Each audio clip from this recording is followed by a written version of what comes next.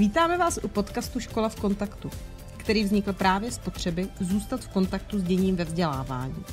Chceme vám tak zprostředkovat skutečné příběhy každodennosti. Já jsem Jana. Já jsem Martin a budeme se snažit vám nabídnout zajímavé rozhovory s žáky, rodiči nebo učiteli, kteří čelí výzvám a nárokům spojeným s aktuální situací ve školství.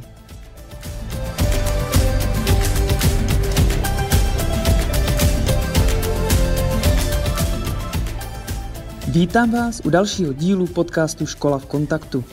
Jmenuji se Martin Krojciger a pracuji jako učitel českého jazyka a výtvarné výchovy na základní škole Haškově v Uničově. Dnes si budu povídat s naším panem ředitelem Svatoplukem Vlkem o distanční výuce, o tom, jak se s ní škola vyrovnala, jaké příležitosti může distanční výuka mít, nebo třeba o jeho vizích, představách a směřování školy.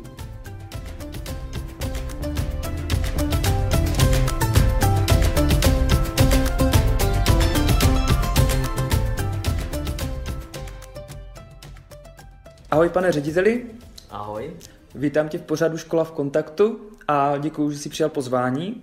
Dnes si eh, budeme povídat o současné situaci, eh, která ve školství je zasažena mm, nějakými vládními opatření, takže škola je zavřená, zkrátka všechny školy jsou zavřené. A mě zajímá, jak eh, na tu situaci pohlížíš ty z pozice, ty z pozice ředitele školy a nejenom z pozice této funkce, ale i jako, jako, uh, jako člověk. A já se hrozně těším na tvůj názor. No, to je dost těžká otázka. A co se týká uzavření škol, tak to je samozřejmě nejproblematičtější asi pro žáky a rodiče. Učitelé pokračují v té práci dál. Už na jaře, když, když jsme když byla ta první uzávěra, tak eh, my jsme najeli celkem na, eh, na systém, který děláme už i dnes. A, a to přešli jsme eh, přes EduKit, což je, což je třídní kniha a žákovská knížka,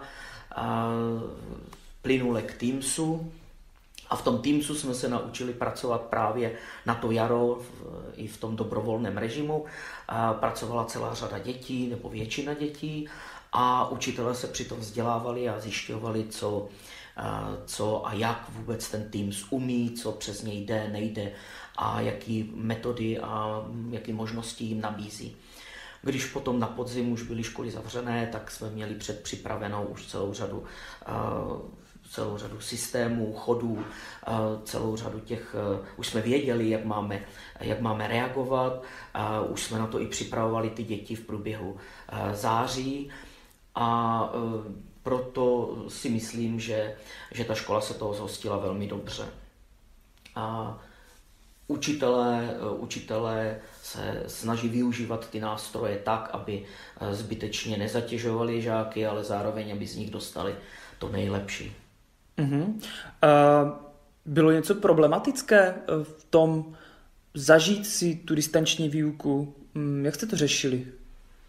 tak ten začátek byl asi nejtěžší, protože eh, jsme nevěděli, eh, co v tom daném okamžiku dělat. Eh, padala různá řešení, u nás se většina těch věcí prodiskutovává, přichází, a každý přichází se svým řešením a teprve až potom se shodneme na něčem, co, co vyhovuje buď to většině, anebo co vyhovuje nám jako vedení školy.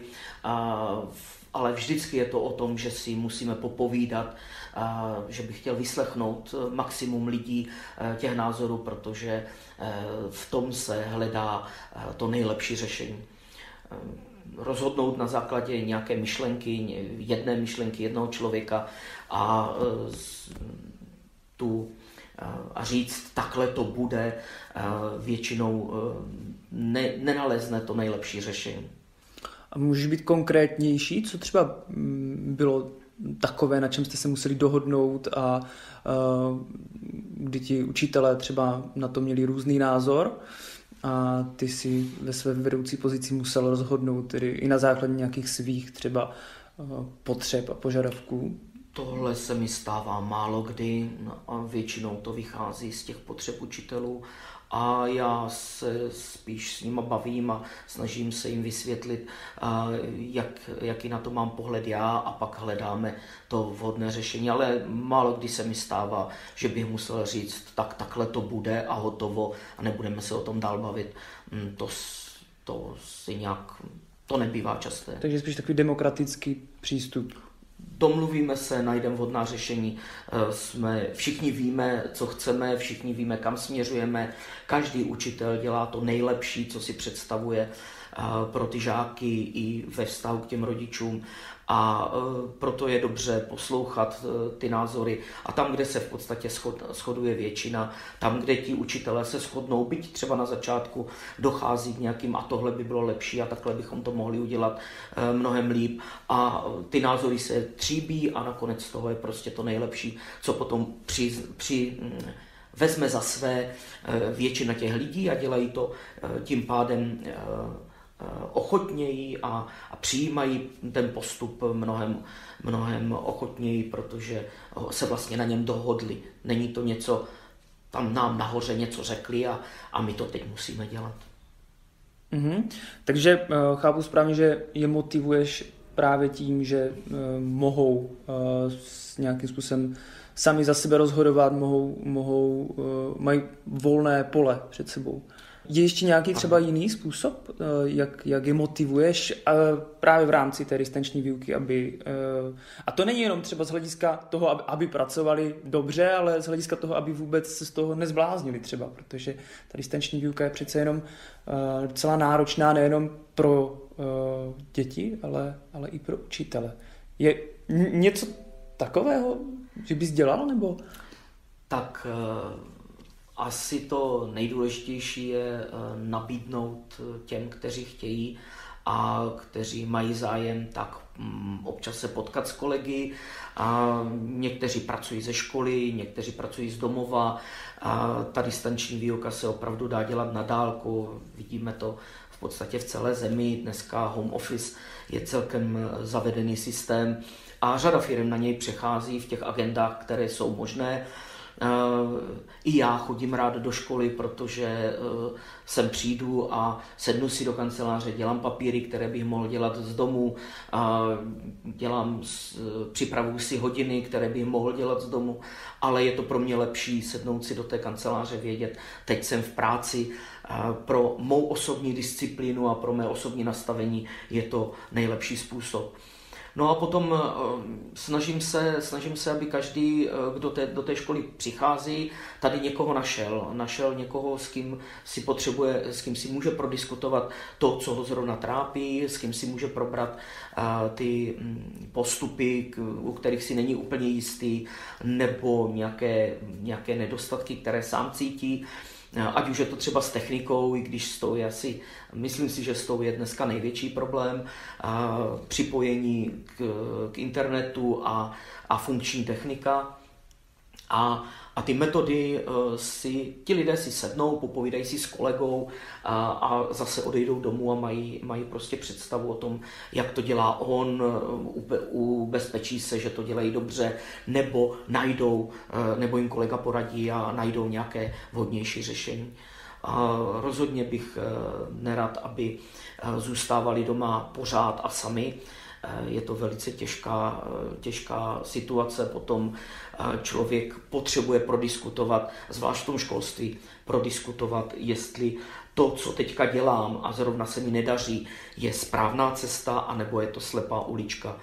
A školství obecně, i když eh, máme prezenční výuku, učitele chodí eh, do školy, eh, potkávají se v kabinetech a těch 10-15 minut, kdy spolu jsou schopni si něco popovídat, tak si myslím, že je to pro ně právě důležité v tom ubezpečení se, že tu, tu svou práci dělají dobře, že kolega to dělá podobně, že mají na to podobný názor, nebo že si vyjasní, vyjasní tu cestu.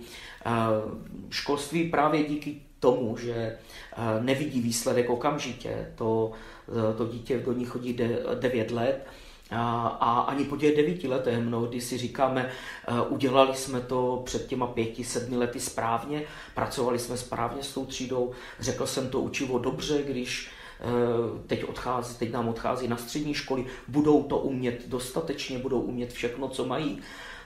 Školství vidí výsledek až po, po letech a proto potřebujeme my, učitelé, si o těch svých, o těch svých postupech, o, tom, o té své práci hodně povídat mezi sebou, říkat si, jestli to tak cítíme podobně, co se nám podařilo, nepodařilo, protože tu zpětnou vazbu nám ti žáci dávají jenom vůči e, krátkému období, ale ne e, v tom dlouhodobějším horizontu, který asi potřebuje každý člověk. Mm-hmm. A to mě eh, ještě přivádí k otázce, ty jsi zmínil, eh, že eh, velmi zásadní je ta technika a někdy je to problematické. Je to třeba učitelé zvládli najet ten, tento systém? Jak, se, jak zvládli to okamžitě se naučit třeba s tím softwarem pracovat? No, my se s technikou snažíme, snažíme vycházet už delší dobu. Takže řada učitelů, ti, kteří chtěli a, a měli zájem, a tak mají počítače už, už roky. A notebooky jsou u nás, u nás už minimálně 5-7 let. Běžnou, jsou praco, běžným pracovním nástrojem, který při příchodu učitel dostává, když samozřejmě je, protože ta technika se nakupuje postupně a, a pomalu a dovybavuje se a průběžně se obměňuje. A takže učitelé jsou zvyklí pracovat s tou technikou, ať už je to počítač a nebo interaktivní tabule, která samozřejmě s tím počítačem úzce souvisí. My jsme v rámci, v rámci řady projektů za posledních 15 let školu vybavili technikou téměř v každé třídě. Tím říkám, že pouze v jedné třídě nám chybí nějaká, nějaká prezentační technika a učitelé eh, zpracovávají, ať už v šablonách, kdysi zpracovávali svoje materiály, ale jsou dneska eh, zvyklí, a myslím si, že většina z nich už je dneska zvyklých, připravovat si hodiny na počítači, připravovat eh, nějaké výstupy pro žáky, pracovní listy a podobně.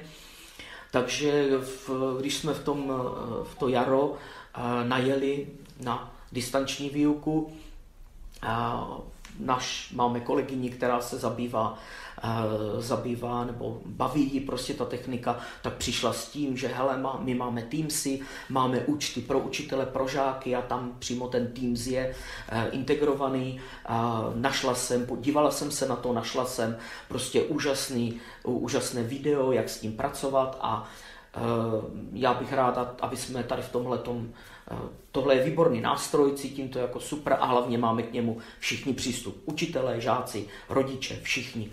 Takže připravila takový seminář, takové seznámení pro ostatní, Přihlásilo se tam 90% učitelů, ona jim vysvětlila, jak se s tím pracuje, potom následně pro ně udělala ještě několik e, takových seminářů už na konkrétní přípravy, e, ať už jsou, je to příprava kvízu nebo nějaké písemky, příprava pracovního listu, jeho hromadné předání žákům, e, způsob kontroly a ti učitelé to neměli povinné výuka nebyla povinná, to znamená, oni ani nemuseli, kdo nechtěl, necítil se, nemusel. Nicméně to, že řada z nich, eh, řada z nich eh, pochopila, že je to nástroj, který jim pomáhá v té práci a pomáhá jim komunikovat s těmi žáky velmi efektivně, tak se, eh, tak se na ty semináře že přihlašovali, navíc u nás jsme tak trošku zvyklí, eh, i když s něčím úplně nesouhlasím, podívat se na to, seznámit se s tím, podívat se, jestli třeba nevyužiju alespoň malou část pro tu svou práci. Takže myslím si, že, že opravdu většina Myslím si, že téměř všichni učitelé podstatě prošli těmi semináři a byť na začátku zkoušeli ty, eh, ty nástroje, tu, ten Teams, tak jako opatrně, jenom jako semo, tamo, jako zpestření výuky, no až zjistili, že je to pro ně výhodné a dneska v tom jedeme plnou výuku. A což jsem velmi rád, na tom začátku jsme se dohodli nebo vyšel, vyšel takový nápad, na kterém jsme se potom společně shodli, že i hodiny výuky nějakým způsobem omezíme a že uděláme pravidelný režim, pravidelný rozvrh, takže u nás se opravdu začíná, hodina začíná vždycky v celou hodinu, v 8, v 9, v 10, v 11, ve 12 a v 1. Tím, tím výuka končí a hodina, distanční výuka, distanční hodina má uh, nejméně 30 minut, a nemělo by to být o moc víc, samozřejmě někteří Eh, když se člověk rozběhne, tak najednou těch 30 minut je strašně málo, ale zbytek je na samostatnou práci žáků, na přípravu na další hodinu. A tím, že eh, se tenhle ten proces nastavil hned od začátku, tím, že eh, celý ten rozvrh jsme překlopili tady do těchto těch, do těchto těch do toho principu celá hodina začíná hodina, vyučovací hodina, a ještě se to dopilovalo na podzim, tak si myslím, že tenhle systém, tenhle systém se nám osvědčil a i ti žáci mají jasno, eh, celá hodina, začíná mi nějaká hodina převážně. Jo? A není to tedy pravidlo. Mm-hmm. Takže teď si mi v podstatě uzavřel ten okruh těch otázek, eh, takže zdá se, že škola se s distanční výukou vyrovnala velmi slušně a eh, máš třeba nějaký plán, nebo myslíš si, že je to dostačující, nebo, nebo ještě, protože nevíme, jak dlouho školy budou zavřené, eh, je třeba něco, co podle tebe by se dalo ještě vylepšit? Tak v té distanční výuce eh, samotné asi, asi si myslím, že, že jsme v optimálním režimu. O čem se tady ve škole bavíme občas je, co až se vrátíme do prezenční výuky. A tam eh, teďka, oni se objevují už ty signály, signály občas na internetu, v článcích od odborníků, že by možná bylo dobré zrevidovat, eh, zrevidovat systém výuky ve, eh, ve školách, a zkusit udělat kombinaci prezenční a distanční výuky, kde, kde by třeba v dopoledních hodinách probíhala prezenční výuka, odpoledne by byla eh, výuka dobrovolná a zároveň eh, část distančně, eh, část by se studovala distančně kdy v těch prezenčních hodinách už by, do těch prezenčních hodin by žáci přicházeli už s tím, že v té distanční části hm, z předchozí, z předchozího dne Eh, se si nastudovali sami, tak jak jsou teď zvyklí eh, dělat všechno, tak nastudovali část té, toho učiva a eh, v, v té prezenční části by se jenom upřesňovali, procvičovali, upřesňovali detaily, procvičovalo by se učivo, žáci by se měli možnost doptat na něco, co jim není úplně jasné. A, a mluvili by pak v příkladech. Co si ještě myslíme, že, že asi bude důležité, a tak to je eh, v okamžiku, kdy přejdeme do prezenční výuky, tak, eh, tak pomoct těm žákům eh, dohnat celou tu část toho učiva. A tady si myslím, že je prostor ve formě asistentů, ale říkám to v uvozovkách, neboť by se jednalo o, o žáky pedagogických oborů, o studenty pedagogických oborů, kteří by mohli stejně jako medici dnes pomáhají ve zdravotnictví udržet tu, tu, tu zdravotní péči, tak oni by mohli přejít na rok třeba eh, do škol, kde by mohli vést tandemovou výuku s eh, vyučujícím, eh, kde by mohli, kde by mohli pomáhat v tě, těm ohroženým skupinám ve třídách. A dovedu si představit, a máme to ve škole vyzkoušené, kdy asistent pedagoga byl student posledního ročníku pedagogické fakulty. Máme dva takové asistenty, kteří si tímhle prošli a dneska jsou to plnohodnotní učitelé a myslím si, že oni sami, eh, když se bavíme, tak oni sami říkají, ale to byla ta nejlepší zkušenost, protože všechno to nové, všechny ty informace, které jsem si přinesl ze školy, mi někdo dovolil, aniž bych byl odpovědný, plně odpovědný za tu výuku, tak mi dovolil používat Uh, viděl jsem ten faktický chod té školy, stal jsem se součástí uh, celé té výuky, uh, seznámil jsem se s prací třídního učitele, nejenom teoreticky, ale opravdu, co to všechno obnáší, jednání s rodiči, jednání s žáky. Byl jsem, byl jsem u pedagogické dokumentace, u veškerých školních papírů, viděl jsem to na vlastní oči a přitom jsem za to nebyl úplně zodpovědný. Na to tam byl ten učitel, který mě vedl. Ale ve výuce, ve výuce jsem dostal prostor, rozdělili jsme si třeba, třeba i v jedné třídě hodinu na, na dvě skupiny, vedli jsme ji, ano, polohlasem, tak, abychom se navzájem nerušili, ale každý jsme si vedli svou skupinku, každá skupinka šla jiným tempem, v každé jsme dělali ale to též učivo. A to si myslím, že je, že je e, cesta k tomu, jak e, pomoct těm žákům, e, kteří se vrátí tady z té distanční výuky a kteří třeba na ní až zase tak úplně někdy úplně nejsou. Mm-hmm. To, to já můžu rozhodně potvrdit, protože já taky, když jsem začínal, tak jsem během magisterského studia dělal asistenta pedagoga a rozhodně mi to dalo hodně hodně i eh, v tom, že jsem vlastně se mohl rozmyslet, jestli to vlastně vůbec chci nebo nechci dělat. Takže to jedně potvrzuju. A teď mě vlastně přivádíš eh, k tomu, eh, spoustu lidí říká, i v médiích to slyšíme, že současný stav vlastně může být příležitostí ke změně. Já jsem teďka pochopil z toho, že vlastně, když už jsi mluvil o tom návratu do prezenční výuky, že to vnímáš dost podobně, že vlastně to může být příležitostí ke změně. A je něco, eh, co eh, bys ještě byl rád, aby se změnilo, eh, kromě toho, že by třeba asistenti byli studenti pedagogických fakult? Protože mm, samozřejmě těch, těch změn se otevírá určitě, no těch příležitostí se otevírá roz, rozhodně mnohem víc.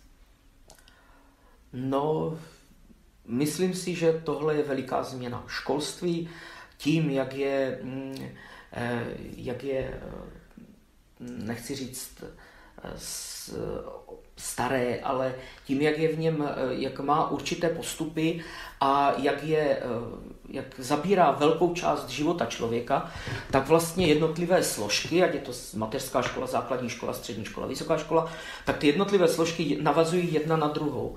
A Eh, je velmi těžké eh, změnit něco v jedné škole. Vždycky se musí změnit celý ten segment a eh, změnili se základní škola, musí se na, to v nejbližší době změnit, navázat ta změna v té střední škole. Je to hlavně o výstupech. To, s čím se setkávám celý život, je, ale my to ty žáky musíme naučit, protože to po nich na střední škole budou chtít. A přitom to ani není, uh, ani není nutné učit. Uh, mají se s tím seznámit. Nemusí to ovládat, ale proto, aby byli úspěšní v přijímacích zkouškách a aby se řek, neřeklo, že na té škole učí špatně, tak se učíme uh, mnohdy i věci, které není nutné na základní škole naučit do detailu. A v téhle chvíli přicházíme k té změně. Je potřeba, Teď ta distanční výuka najednou ukázala, že není potřeba učit úplně všechno. Uh, už, uh, už proběhla médií informace o tom, že se bude dělat revize učiva. Um, velké, velké halo, uh, vypadnou Newtonovy zákony.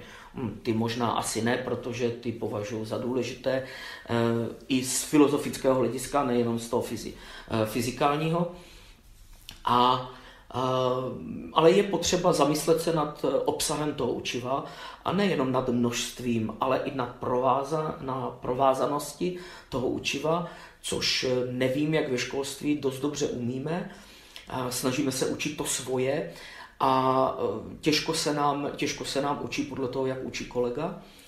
A myslím si, že tady je možnost, tady se naskytá jedna, jedna veliká možnost a to přenést Eh, zlepšit a vylepšit tu digitalizaci eh, té výuky, ale nemělo by to být ve vztahu ke škole.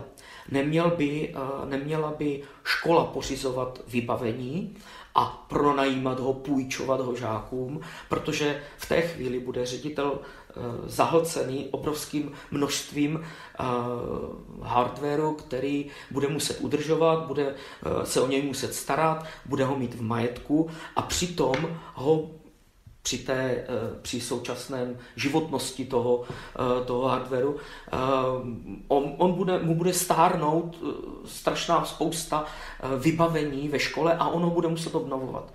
Myslím si, že tady je jedna cesta, kde, kde stát či mm, regiony nebo nevím kdo pomůže těm rodičům, kteří to potřebují a nemohou si dovolit ten, eh, ten notebook nebo tablet, eh, pomůže, přispěje těm rodinám, ale žák bude chodit do školy s tabletem, tak jak se o něj učí dnes, s tabletem s, od školy dostane do něj, do něj software, který, který bude nepřenositelný a dostane do něj materiály, které, ze kterých se má učit. A ty mu tam mohou zůstat i v dalších ročnících, takže se k ním bude moct vracet.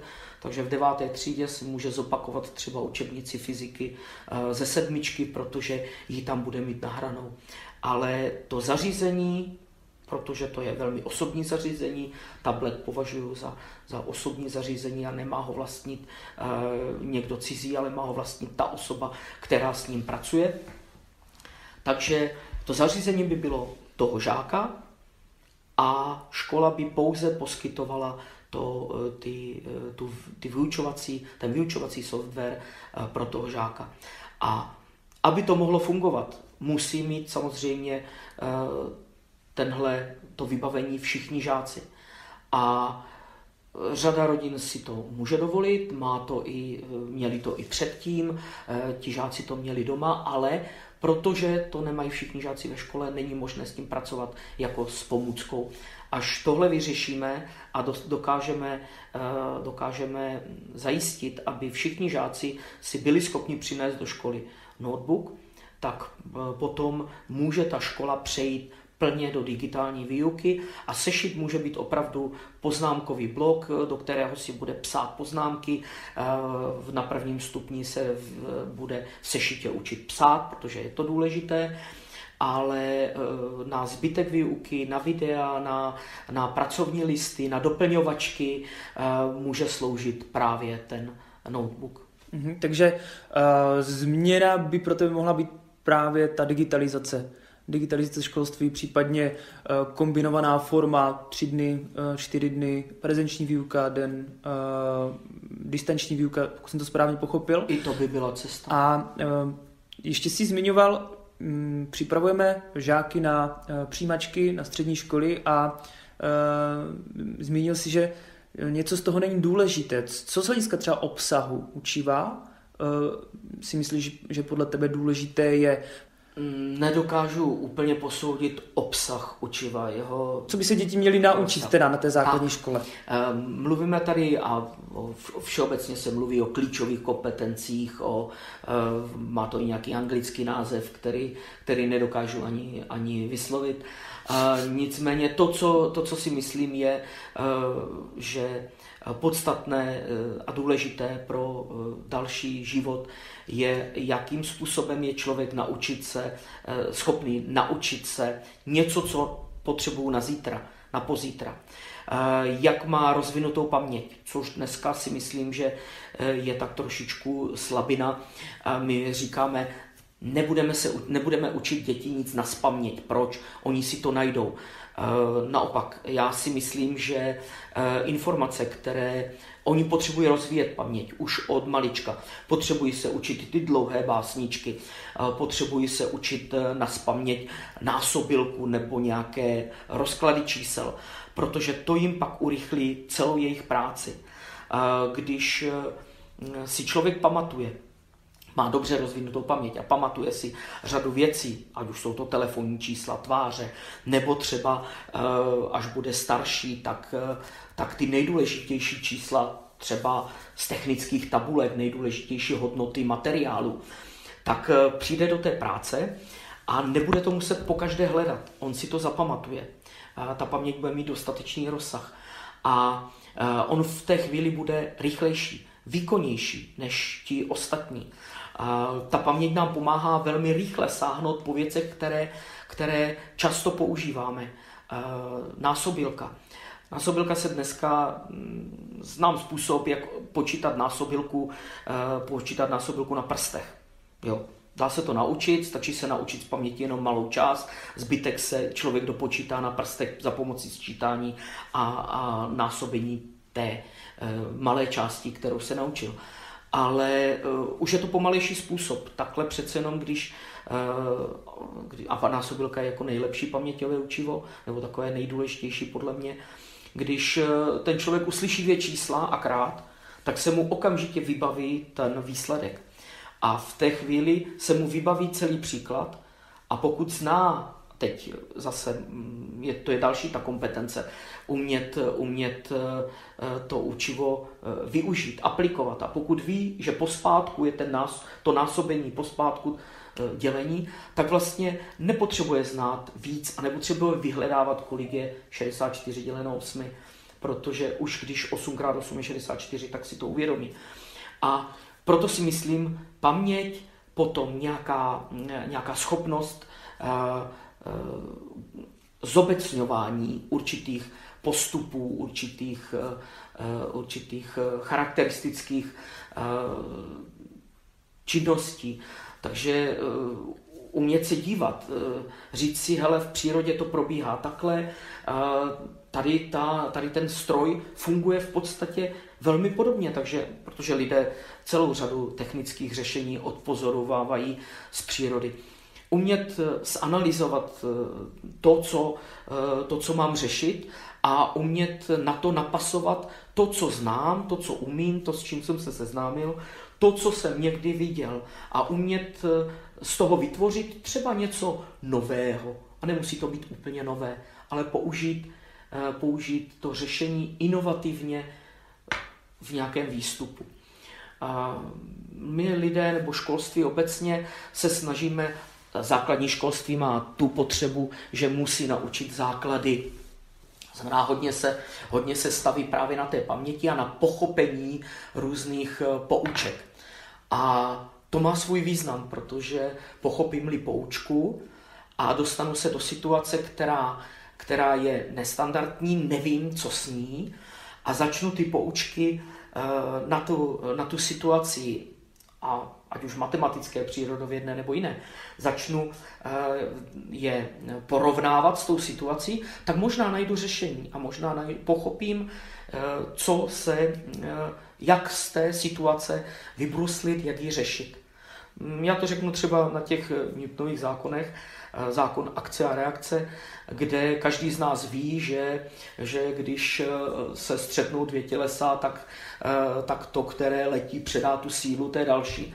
Mm, zákon akce a reakce se běžně, nebo běžně poznáváme i třeba ve chvíli, kdy, kdy člověk, jeden člověk a teď to nechci říct špatně, ale v restauraci se setkají dva a jeden, dá, jeden tomu druhému dá facku, co udělá, to je akce a ten druhý mu ji vrátí, protože to je reakce. A nesouvisí to s fyzikou, je to ze společností, ale už když, už když o tom s těmi žáky takhle mluvíme, tak oni si tím vytvoří vazbu mezi, ano, vznikne nějaká síla, vznikne nějaká situace a ta situace vyvolává další situaci. A to je vlastně zákon akce a reakce ve společnosti, eh, v jakékoliv další lidské činnosti. Mluvíš o společnosti. A můžeme to eh, vlastně stáhnout k veřejnosti a eh, k veřejnosti kolem školy. A jak podle tebe školu vnímá veřejnost? A teď nemyslím školství, ale pojďme konkrétně k naší škole. Dokážeš posoudit, Většinu, většinu těch eh, reakcí, které se ke mně dostávají, a není jich moc, jsou, jsou to spíš špičky takové, takových těch vyhrocených těch reakcí, ať už je to stížnost, anebo velká pochvala. Já si vážím obou dvou, protože to znamená, že ten člověk má ke škole nějaký vztah a že mu záleží na tom, aby ta škola eh, aby se nějak, někam vyvíjela. Ten, který řekne, hele, tohle to se mi nelíbí, tohle to děláte špatně, nám dává možnost zamyslet se nad tou situací a e, řešit ji. A buď to, jí, e, buď to si říct, e, ne, my to děláme dobře, a ten člověk spokojený nebude s tím výstupem, anebo se zamyslíme a řekneme si, no, v něčem má pravdu a proč to teda nezměnit, proč to neudělat líp. Na druhou stranu zase se setkáváme s reakcemi, jako jsem strašně nadšený, tohle je to, co jsem hledal, vaše škola je prostě úžasná, to, co nabízí, to, co dělá pro ty žáky, jakým způsobem k ním přistupuje. Ty reakce, které jsou mezi tím, jsou takové reakce, no dneska ta škola dobrá, eh, no dneska si zanadáváme, protože nás paní učitelka naštvala, ale jo, jinak tady třeba se nám daří, tohle je dobrý, jo, fakt jako dobrý. A eh, to jsou věci, které se k vám nikdy nedostanou.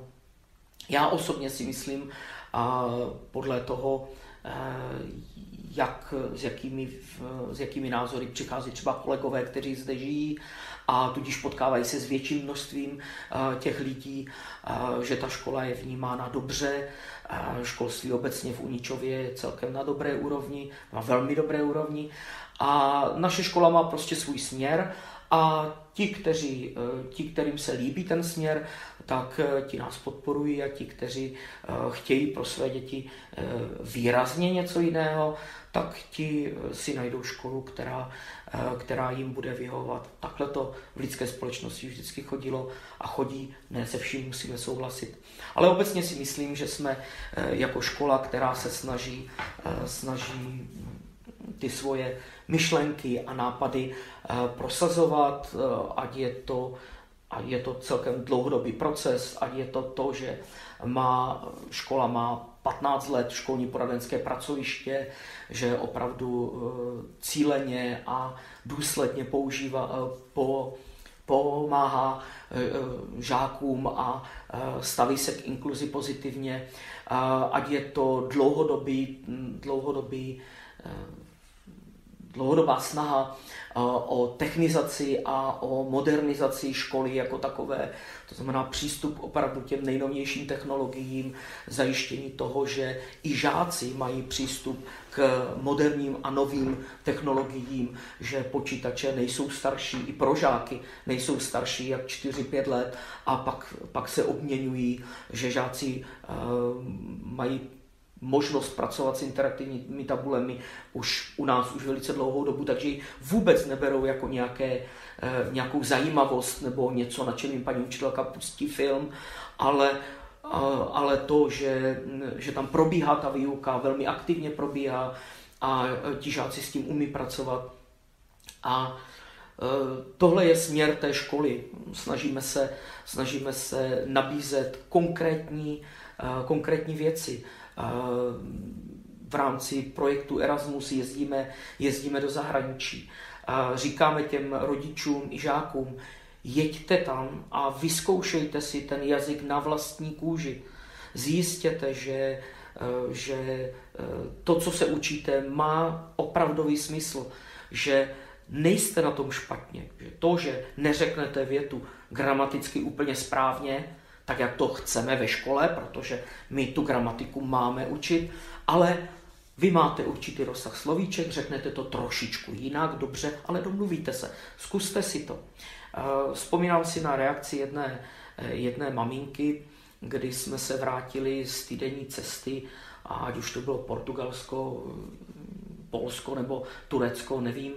A ona říká, eh, ona říká, Povídali jsme si s dcerou o tom, o tom Erasmu, o tom výletu, o té cestě, kde eh, celý týden byla eh, vlastně v té rodině bez žádného dospělého, zažila tu výuku v té, v té jiné škole a řekla, hele, naše škola je super v tom, že my máme možnosti, my máme, my vlastně umíme všechno, ale hlavně, mami, já, se, já dneska, když přijdu na letiště, tak vím, že se cítím se, cítím se taková zkušená.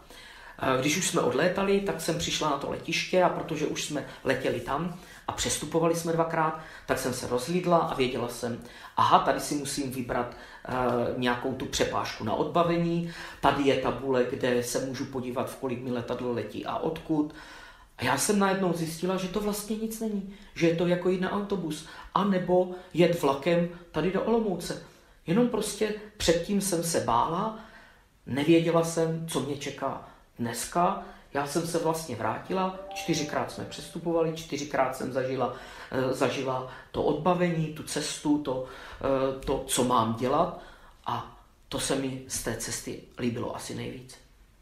Uh, no já vidím, že uh, podle toho, co říkáš, tak bychom našli spoustu dalších témat na spoustu dalších rozhovorů. Uh, takže věřím tomu, že určitě se třeba ještě někdy při nějakém rozhovoru potkáme. A zároveň z toho je patrné, že tvoje srdce fakt dost bije za tu školu. A vůbec jsme nemluvili totiž pořádně třeba o tvém dni. Ještě mě zajímá, ještě položím takovou otázku, ať si vlastně posluchači představí, jak vypadá běžný den ředitele školy. Jak vypadá tvůj běžný den No, je fakt, že v průběhu distanční výuky se trošičku změnil ten rytmus.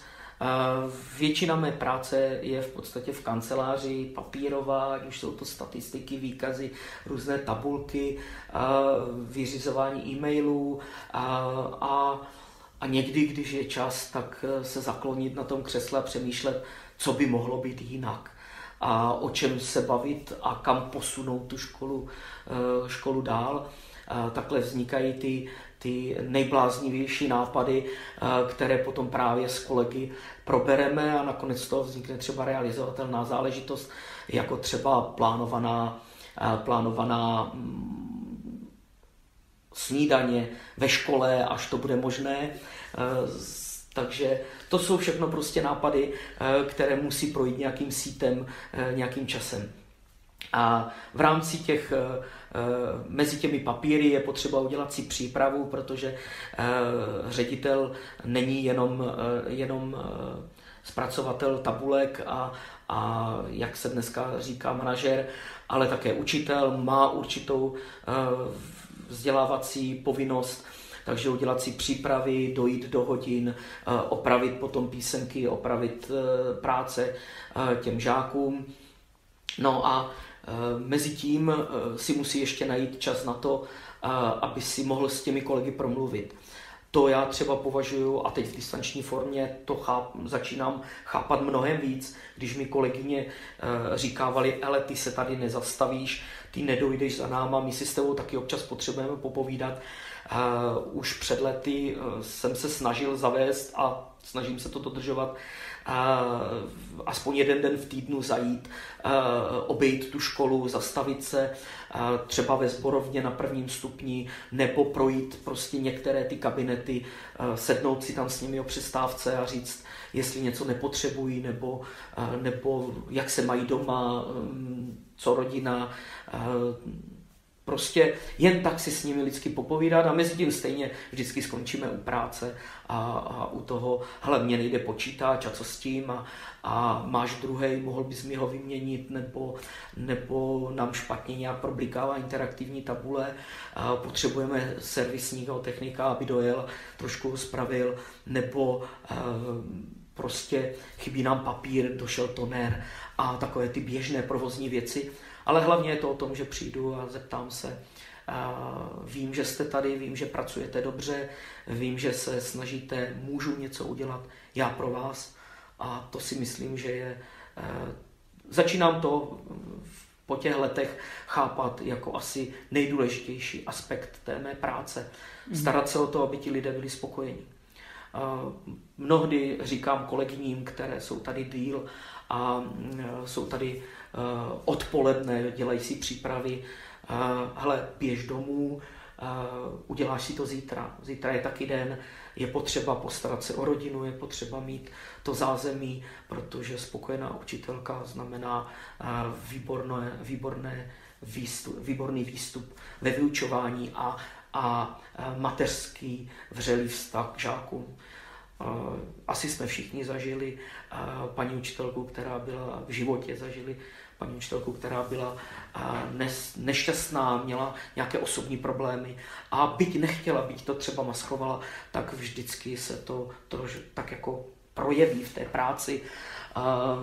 A známe to všichni nejenom ze školské branže, ale i z práce v podnicích, v kancelářích. Člověk, který není spokojený a má, řeší nějaké problémy, tak problémy toho osobního charakteru, tak potom nedokáže Eh, ani nemůže, ani to po něm nemůžeme chtít, ale nedokáže vložit do té práce tu energii, kterou, tu pozitivní energii, kterou, která by tam měla být. Mluvíš o pozitivní energii. Co ti dělá v současné době radost? Obecně. Jaro, krásné počasí a dobře fungující škola. A to si myslím, že to my jsme. Eh, že do ní lidi chodí rádi, že se do ní žáci těší, a že ne, neděláme rodičům příliš moc starostí s tím, eh, že se musí něco doučovat nebo že eh, musí dohlednout a, a, a starat se o ty děti, že prostě dokážeme dělat to, ty dobré věci kolem sebe. Čím bys pozbudil třeba posluchače během současného lockdownu? Je něco takového? Dokázal bys něco zkázat? napadlo mě, napadlo mě, vydržme a zůstaňme alespoň, alespoň v duši pozitivní.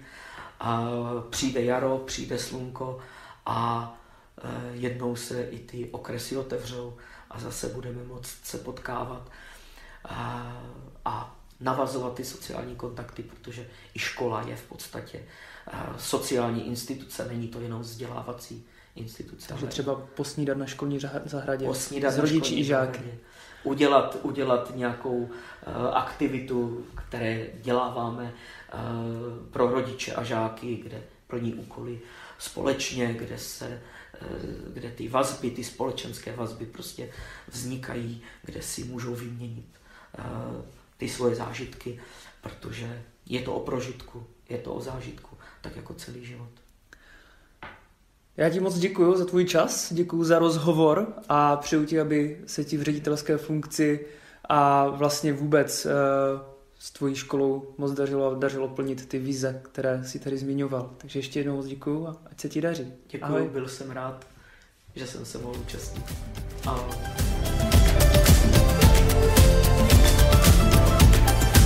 Děkujeme, že posloucháte náš podcast Škola v kontaktu a budeme rádi za zpětnou vazbu na facebookové stránce Základní škola Haškova Uničov nebo v komentářích pod videem na YouTube, nebo také e-mailové adrese kreuziger.haskova.cz Těšíme se na vaše tipy a náměty, jak podcast vylepšit. Tak ahoj zase u dalšího dílu.